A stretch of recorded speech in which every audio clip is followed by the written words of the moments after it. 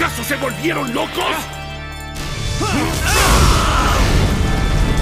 ¡Ese poder no es de los caballeros de plata! ¿Y ustedes?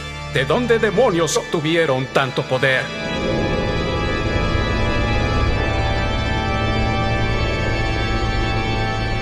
Eso es imposible.